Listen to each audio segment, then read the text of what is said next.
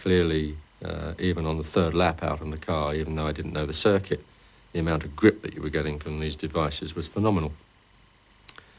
I'm not sure what happened. Um, uh, coming into my third lap in qualifying, I approached the fast downhill section just before the pits there on that street circuit in France. And the back of the car snapped away from me.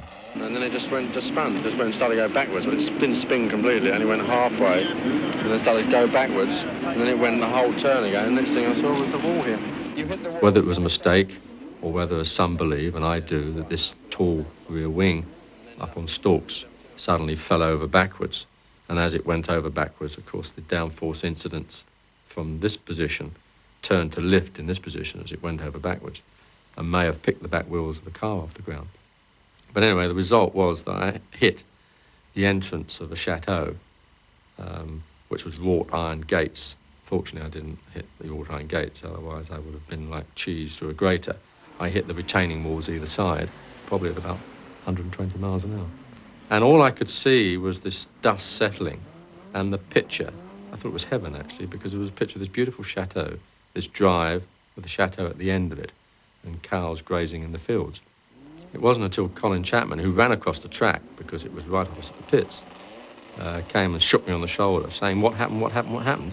But I realised I was still around. Oh, dearie me. Brandy,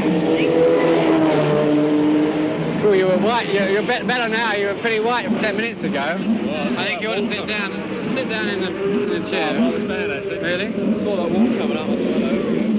Chapman was competitive to his fingertips. On this occasion, he was quick to try to turn Oliver's crash to his advantage, with some gamesmanship at the expense of his rival, Bruce McLaren. Did you, you didn't hit anything, did you? You, didn't, you haven't actually hit anything all the time when No. it's bad. No, you didn't hit anything. All I'd done was spun of the hairpin. That slow lap. You see, the whole of the whole of the rear suspension is in fact hung on that gearbox. And if that breaks, well, that's it. But then they're all on the same basis.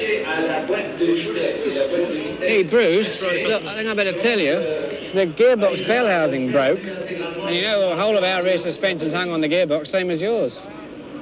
And it's just broken in half in the middle. You know, the bell housing's got a hell of a load in it, if you think about it. That's all that's happened. It's just broken in half. I'm bringing Graham in. I'm not going to run him like that. You better have a look and see if there's any cracks in your bell housing.